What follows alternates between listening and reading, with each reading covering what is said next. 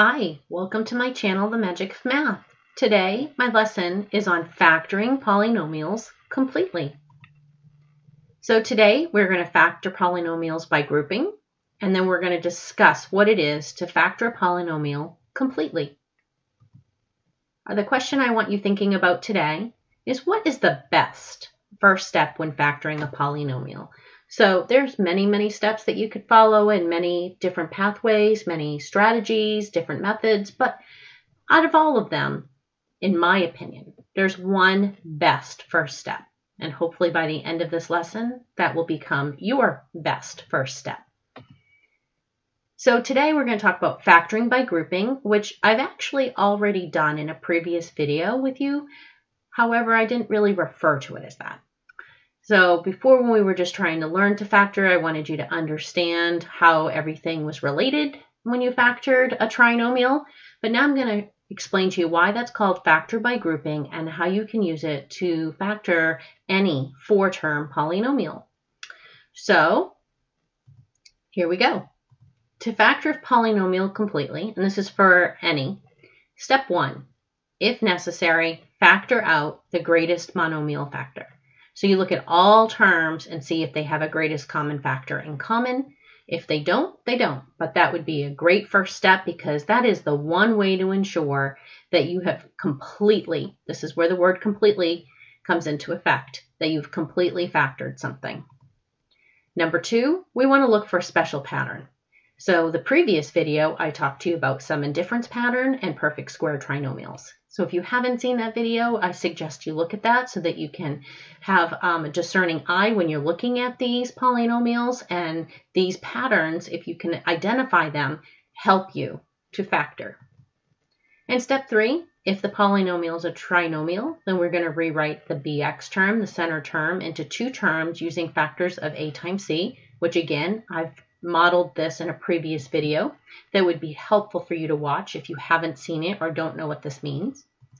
And step four, I'm going to show you how to factor a four-term polynomial by grouping, which is actually easier than a trinomial that needs to be grouped. All right, so here we go. So students often look at me like, there's no way, I can't do this. But actually, it's easier than factoring a trinomial by grouping. So what we're going to do is we're going to take the first two terms and the last two terms. So the only thing I want you looking at right now is the first two terms of the polynomial with four terms. And we're going to look for the greatest common factor between these two terms, which is x squared. And then when I factor that out, I have x squared times x plus 3. So look at that.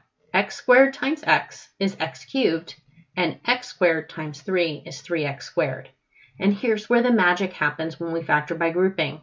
If I've factored out the greatest common factor between these two, num two terms in this four-term polynomial, then I know this common, this is going to be the common binomial factor between the two.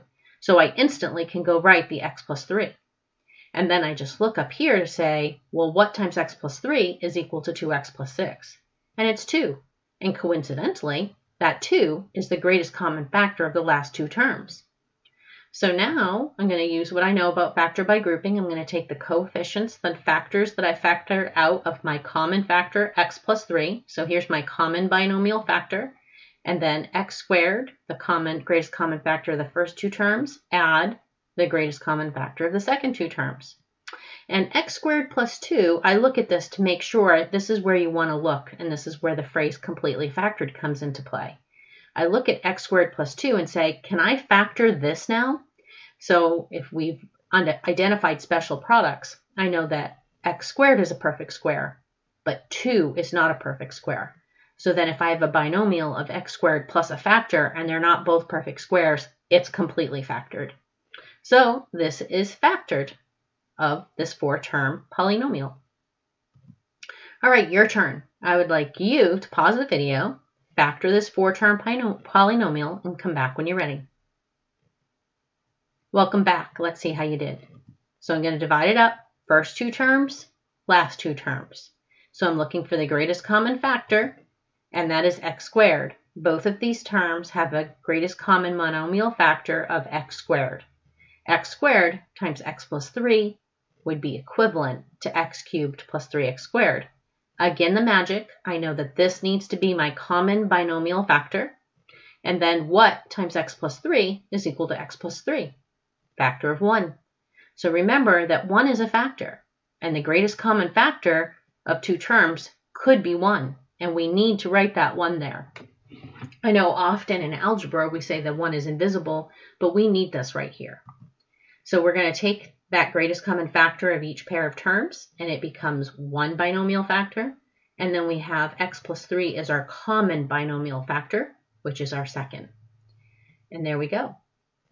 And I look at this, and even though x squared is a perfect square and 1 is a perfect square, it would be a sum and difference pattern because there is no x term. So the bx term is non-existent. So therefore, that means this would have to be negative to make that zero pair because I would have to have x minus 1 times x plus 1 because negative 1 times 1 is negative 1, not positive 1.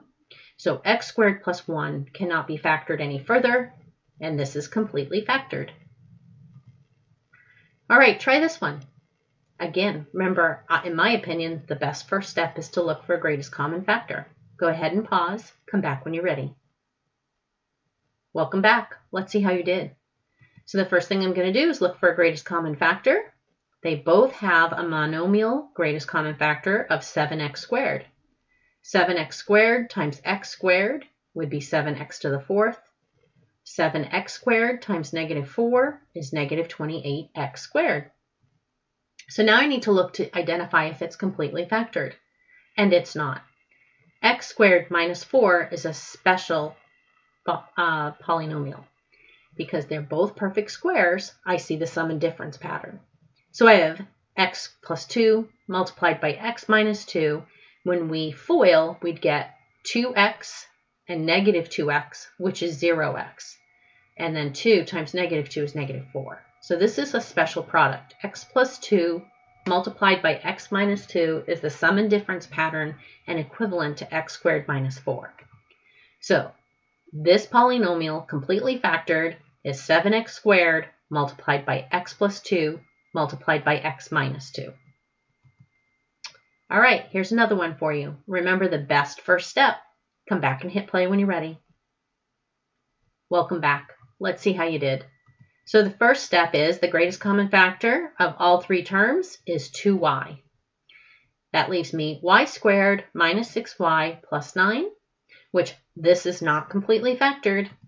So y subtract 3 multiplied by y subtract 3 would be equivalent. So again, this is a special product. I have a perfect square and a perfect square, and then the center term is 2 times that last perfect square. So if we look at that, 3 is the square root, and this is a sum of negative 3 and negative 3, and when I multiply negative 3 by negative 3, I get 9.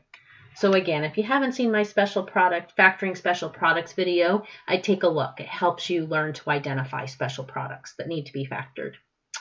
And that's it. So you could write it, I'd accept it like that, or nice and tidy, y minus 3 squared. All right, here we go. This one's a bit of a challenge for you, but I would consider rearranging the terms. Remember, the order doesn't matter when you're going to factor. Go ahead and pause. Come back when you're ready. Welcome back. So let's see how you did.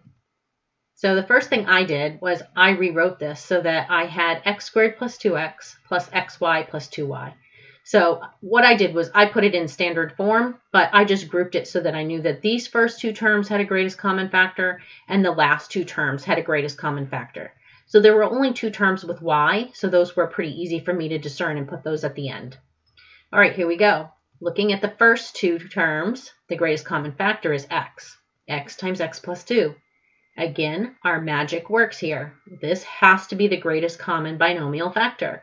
So I ask myself, what times x plus 2 is going to equal the last two terms? And I can see they both have a greatest common factor of y.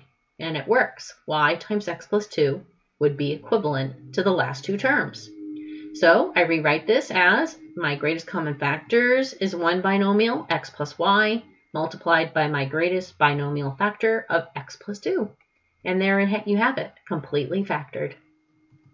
So that's how you factor polynomials completely. I hope you enjoyed the lesson today and that you'll subscribe to my channel, give me a thumbs up, and I hope you have a great day.